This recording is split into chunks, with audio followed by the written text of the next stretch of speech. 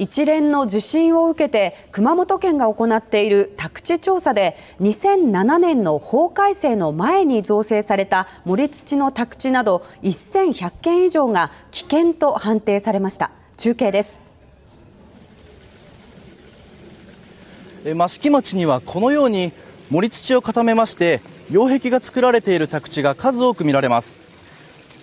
こちらに見える宅地は地震の影響で盛り土が崩れまして一部の地盤が下がってしまっています。こうした場所で地滑りなどの危険性がないかの調査が続いています。熊本県は先月20日から熊本市益城町西原村のおよそ7500件で宅地調査を行いまして昨日までに1182件で立ち入りが危険と判定しました。もともと弱いところにこんな硬いものを作ったって豆腐の上に物を作るのと同じで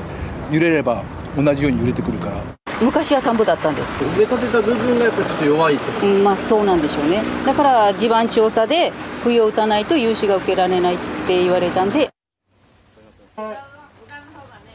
宅地の基準は9年前の法改正で盛り土をより硬いものにするなど厳しくなりましたがそれ以前に造成された宅地では二次災害の危険性が高まる傾向が調査で分かりました熊本県は昨日から御船町と大津町でも同様の調査を始めていまして危険と判断される場所がさらに増えるとみられます。